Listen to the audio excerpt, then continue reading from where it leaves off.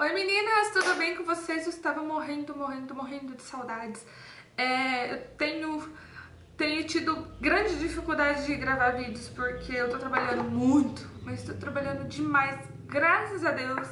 E como, se vocês não sabem, eu tiro fotos, sou fotógrafa, né? Eu faço é, books fotográficos, eu sou maquiadora, eu faço dessas entre outras coisas, né? Que além disso, né? De tudo isso, eu cuido de uma casa, tenho uma filha pequena e eu moro numa cidade onde que eu não posso deixar minha filha com alguém para poder trabalhar fora de casa. Então eu trabalho dentro da minha casa, tenho meu blog, tenho meu canal e tento dar conta de tudo, né? Aqui em casa também não tem empregado, não tem nada, eu dou conta de tudo mesmo.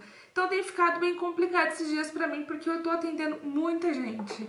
E e hoje eu vim trazer essa maquiagem pra vocês, que eu queria fazer uma maquiagem em tom, um tom rosinha mais clarinho, tipo um rosinha queimado, um rosinha mais antigo, com cavo preto, meio marronzinho aqui em cima. E eu usei bastante coisa legal nessa, nessa maquiagem. Coisa que eu tenho certeza que você pode ter aí na tua casa. E se você não tiver, você pode substituir, com certeza, tá? O batom, antes de mais nada, que senão eu vou esquecer de falar no final, o batom que eu tô usando é esse da Vult, Ó, eu comprei ele esses dias aqui na minha cidade. Ele é a cor 39. Ele é um batom lindo, ó. Olha só que linda a cor dele. Opa, foca. Então, é, eu usei, tô usando esse batom, ele, eu achei ele perfeito, maravilhoso. Bom, eu já gosto de batom assim, não sei, não sei vocês, né?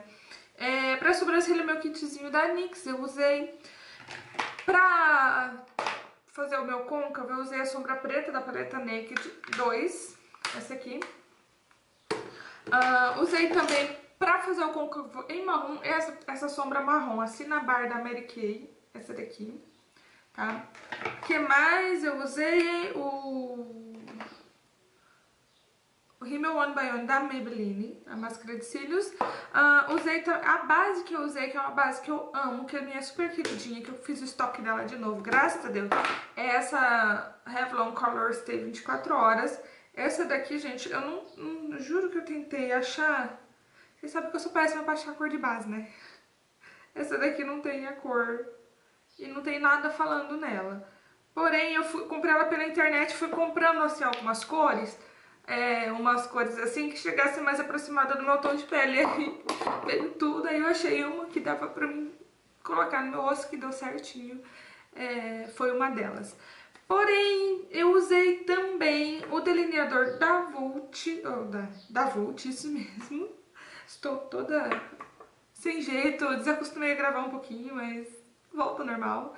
O primer de sombras da NYX, esse aqui você pode encontrar lá na Letícia Rosa, ela tem de tudo da NYX, você vai adorar. O que mais? Ah, e a sombrinha, essa sombrinha rosinha do meio é dessa coleção da Vult, a cor 3, eu usei essa cor aqui, ó, tá? Essa cor. E no, durante o vídeo eu não vou falar, eu só vou mostrar eu fazendo a maquiagem, tá? Porque aqui minha filha tá em casa, por exemplo, né? Então, toda vez que eu vou fazer uma maquiagem, eu, ela fica gritando, falando, me chamando aqui na porta. Às vezes, se eu olhar assim, eu tô falando com ela, eu falo, oi, oi, vai pra lá, por favor, eu tô gravando, tá, tá, tá. Então, eu, não vai ser falado porque ela hoje ela bagunçou muito. Falou muito no vídeo, então eu vou deixar só o pra poder, pra vocês entenderem. Então por isso que eu tô falando isso no começo do vídeo, tá? O brilhinho do meio é esse da Yes Cosmetics. Ele é na cor dourada, tá? Esse brilhinho aqui eu recomendo todo mundo a ter. Ele tem lá na Deb Shop, tá? Ele é ótimo e ele é lindo, fica lindo, lindo, lindo no rosto. Galera, é isso.